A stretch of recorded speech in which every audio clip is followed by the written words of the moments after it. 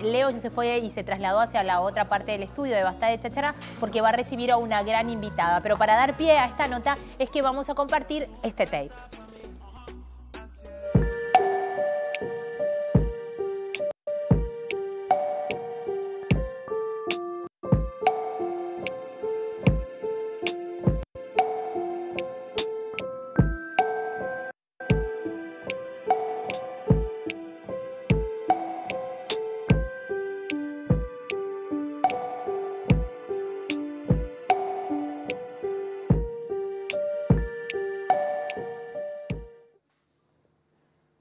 Si yo les planteara a ustedes cuál sería la santísima trinidad de las poetas uruguayas, podríamos decir Juana de Ibarburú, Delmira Agustini seguramente, ¿y quién sería la tercera?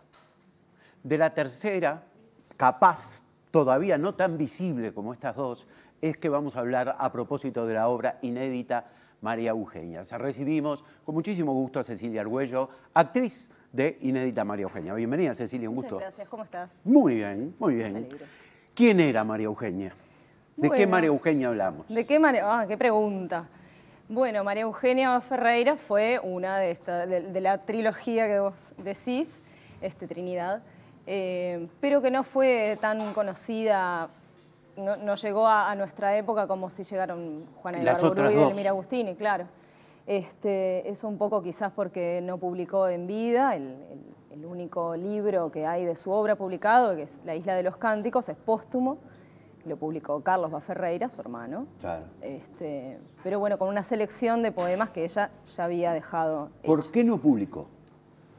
eso es una gran pregunta. Nosotros tenemos nuestras teorías. Este, quizás esto de eh, hacer pública la obra propia es de alguna manera asumirse y asumir ese rol de, artista que fue algo que, a ella la perturbó bastante, ¿no? E, esto de el dilema de si, ser un artista o ser una mujer con lo que implicaba ser mujer en su época, ¿no? Y, los deberes, el deber ser. ¿Cómo, ¿Dónde se realiza en la obra esta? Bueno, la obra eh, se realiza en la Asociación de Estudiantes y Profesionales Católicos, que funciona en una casona hermosa de principios del siglo XX en Boulevard y Chaná. Este, y bueno, la obra es un recorrido un poco por la vida, por la obra de María Eugenia y por la casa también. No es una obra donde uno llega, se sienta y mira, sino que tiene que ir recorriendo distintos espacios este, siguiendo a los personajes por la casa. O sea que el público de pasivo no tiene nada. Nada, absolutamente nada. Más allá de que no participe este, o sí. O sí. No puede ser. ¿Y cómo se dialogan con la, cómo trabajaron los textos de, la, de, María Eugenia? Eh, cómo mm, se hizo la dramaturgia de esta obra, digo, teniendo en cuenta además ¿no? lo poco conocida que es la obra de, ella. Bueno, nosotros, esto es un proceso de investigación que arrancó en el fines del 2019, este, a raíz de un fondo del MEC que ganamos del INAE. Em, y bueno, el, trabajo em, tiene como base la investigación que hizo Elena Romiti este, sobre su vida y su obra a partir de un archivo digital que realizó la Biblioteca Nacional de todo el material que la familia Ferreira tenía de ella, inédito, este, ya sea su obra poética, dramatúrgica, la composición musical, este, como cartas y testimonios de personas que la conocieron. Este, y bueno, de, todo ese material fue que nosotros fuimos nutriéndonos para, realizar esta investigación y ir generando este texto que parte de la dramaturgia del actor. O sea, fuimos estudiando estos materiales y empezando a llevarlos a la escena, al cuerpo. ¿Por qué realizarlo en un lugar, este, en una casa, ¿no? en un lugar tan cotidiano? Este, ¿verdad? ¿Por qué decidir hacerlo Y no en una sala convencional. Y en una sala, claro. Este, y bueno, un poco porque nos interesa eh, esto del, contacto con el público, de la cercanía, de la simultaneidad también, porque un, espacio que no sea una sala de teatro convencional te da un millón de posibilidades diferentes. Este, y bueno, esta casa, que es una casona hermosa, enorme, es parte también de, cómo se fue construyendo la obra, tiene mucho que ver el espacio en esto.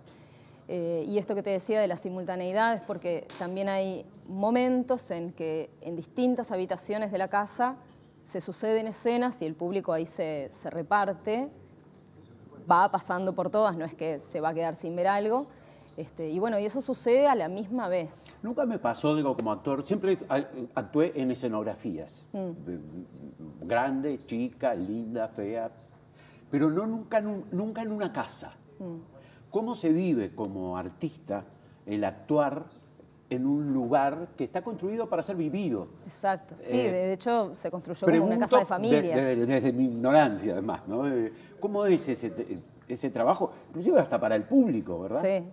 Este, bueno, desde, nuestro lado de, actores, actrices, es un, tiene mucha riqueza porque justamente, como te decía, la obra se fue construyendo también a partir del espacio este, y eso da un montón de posibilidades que de repente en un, en, un escenario, en una sala teatral convencional, estás un poco limitado. Y, y, eso, que los espacios sean reales y no armados con una escenografía y demás, este, le da como otra verdad también.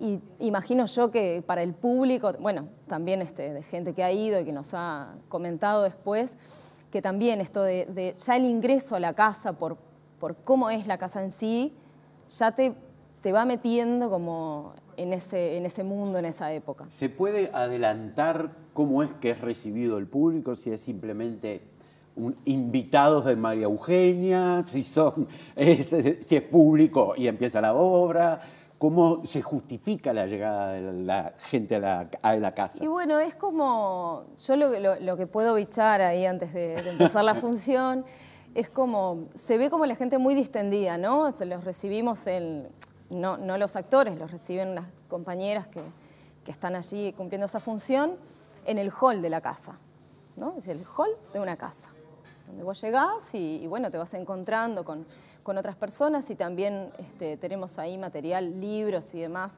el libro de, la Isla de los Cánticos y otros este, materiales que la gente puede ir este, mirando, revisando previo al comienzo.